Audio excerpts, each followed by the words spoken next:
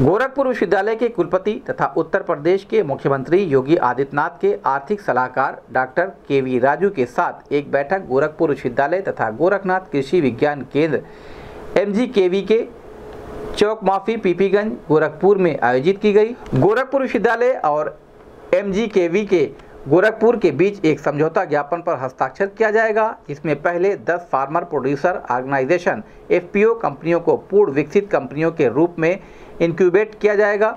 ये एफपीओ कंपनियाँ बीज उत्पादन, मत्स्य पालन, पशुपालन, जैव उर्वरक, गुड़ उत्पादन, खाद्य प्रसंस्करण और बेमौसमी सब्जियों के उत्पादन में काम करेंगी।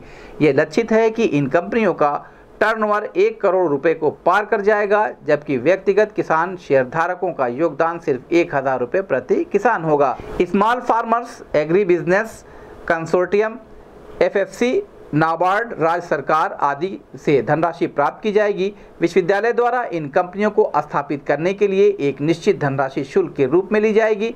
इस बैठक में कुलपति प्रोफेसर राजेश सिंह, आर्थिक सलाहकार डॉक्टर के वी राजू एम जी के वी चौक माफ़ी पीपीगंज गोरखपुर के प्रभारी और दोनों संस्थान के अन्य अधिकारी उपस्थित रहे।